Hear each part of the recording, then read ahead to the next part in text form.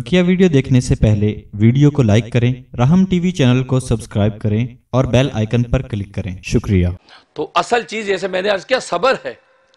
और सबर की तीन घड़ियाँ होती हैं। जब इंसान पर सबर करने की ज़रूरत तीन घड़ियाँ। एक वो घड़ी होती है जो गुजर चुकी होती है। एक वो लम्हा जो गुजर चुका होता है। एक वो लम्हा जो भी आने वाला होता है। और एक वो साथ होती जो इस के अंदर मौजूद है।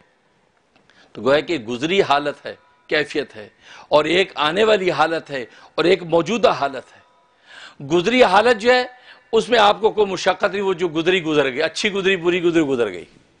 आने वाली हालत का आपको खबर नहीं कि आने वाली जो सात और घड़ी है, वो कैसी आएगी। लेकिन ये मौजूदा जो हालत है, बस ये जो साथ है, इस, ये आपकी निजात, या अदम निजात की बुनियाद है। इस कैफियत के अंदर आप क्या सोचते हैं? इस कैफियत में अपने रब को किस निगाह से आप देखते हैं?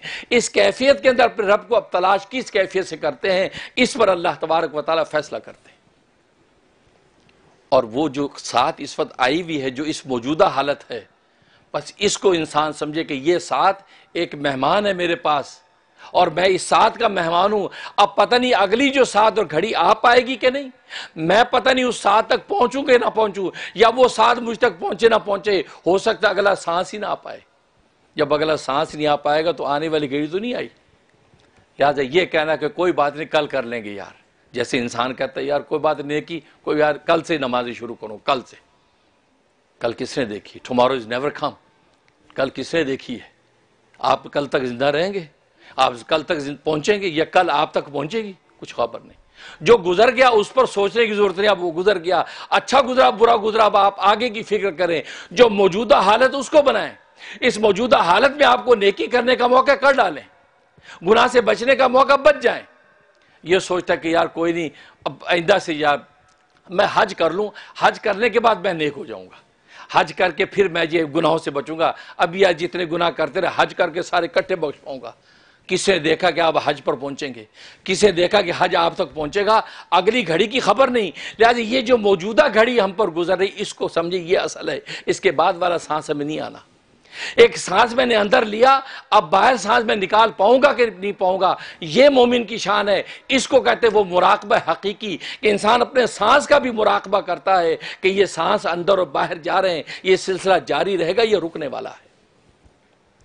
और जब इंसान की निगाह इस पर होती है कि भाई ये मौजूदा हालत में जो मुझे, इस वक्त जो मुझे अवेलेबिलिटी है, नेकी करने की कर डालो। ये ना सोचो। अल्लाह के रास्ते में खर्च करना है, ये ना सोचो कि चलो यार, इस दफ़ा तो बजट नहीं है।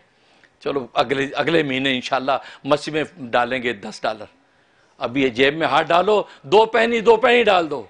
एक डालर एक डॉलर डाल दो। क्यों? कि ये जो कैफियत आती है नेकी की, कैफियत ये भी अल्लाह की तरफ़ से मेहमान होती हैं।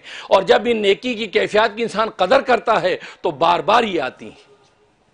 क्योंकि जब आप मेहमान आपके यहाँ आए और आप उसको इज़्ज़त और तकरीम दें तो मेहमान बार बार खुशी से आएगा कि यार ये अच्छे लोग हैं। जब नेकी का जज्बा इंसान के अंदर आया तो जो उस वक्त है, कह डालो। अच्छा कलाम कह डालो, जो हाथ में जेब में, वो अल्लाह के राज में खर्च कर डालो। जो नमाज़ पढ़ने का वक्त अल्लाह अकबर के नमाज़ में खड़े हो, ये ना सोचो, चलो यार, इंशाल्लाह कल से नमाज़ शुरू करेंगे। क्या आपको इतना मान है कि कल तक आप पहुँचेंगे? भाई, ये वो हकीकी मुराकबा के मोमिन को लेके चलता है।